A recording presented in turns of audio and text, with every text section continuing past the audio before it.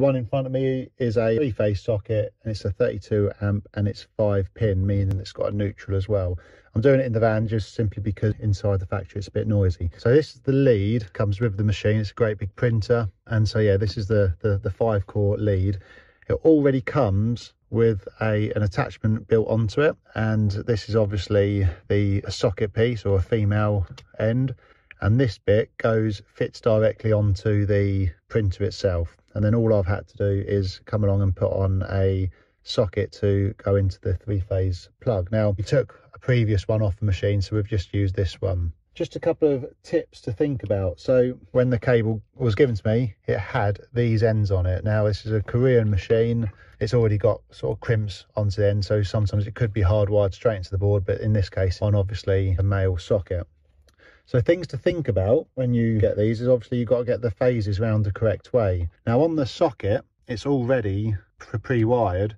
That has come with labels on the mm. colours. And then on the other end, it's also came with cables. Now we're not going to be worried too much about the neutral and the earth.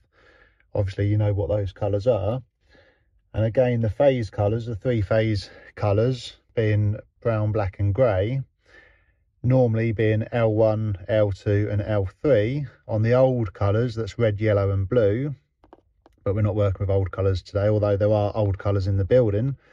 But instead of L1, L2, L3, brown, black and grey, they are labelled up R, S and T. Now that's something, I'm not actually sure what R, S and T stands for, but that is something that we do see quite often. And again, on this one, the, the one that they provide it with, they have actually labelled R, S and T.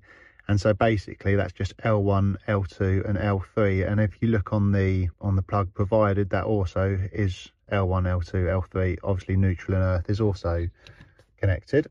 However, on the second hand one that we've put on, that's not labelled up as L1, L2, L3.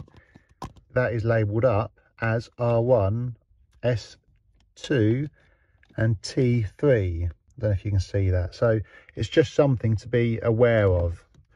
So because it's sometimes can be a bit confusing. Another tip, in order to not get too confused, to make it a bit more simple, is that you can actually, with the covers off, so the covers off there and here, you can actually plug them in together and it just helps you to see that you've got things in line. So I can see neutral is in line with the neutral on here, the phases L1, L2, L3 are also in line and so is the earth.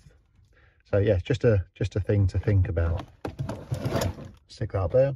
So the other one that I did was a, a 63 amp socket. I haven't brought that out because that's actually attached to the machine. So I've just fitted a, a 63 amps three-phase socket wire provided on one of the printers.